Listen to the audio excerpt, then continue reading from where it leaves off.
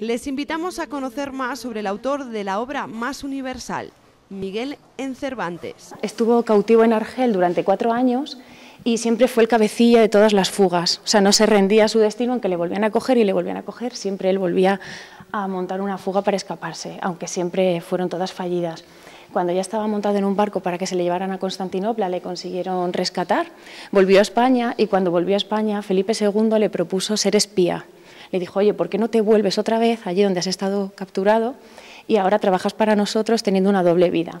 Entonces, es ese aventurero que queríamos destacar que ni corto ni perezoso Cervantes volvió a Argel a hacer de espía. Después tuvo un enfrentamiento en Madrid por el que le condenaron a cortarle la mano derecha. De haber sido así, hoy no tendríamos nuestro Quijote de la Mancha.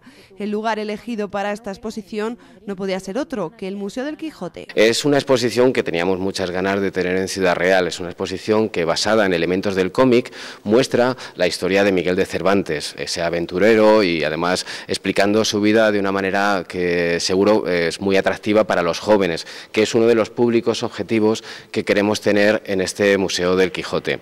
El juego de palabras Miguel en Cervantes es también un juego en la exposición donde a través de la obra no representada en vida, El retablo de las maravillas, dos ilustradores destacados a nivel nacional, Miguel Ancho Prado y David Rubín, abordan la muestra desde la ilustración al cómic.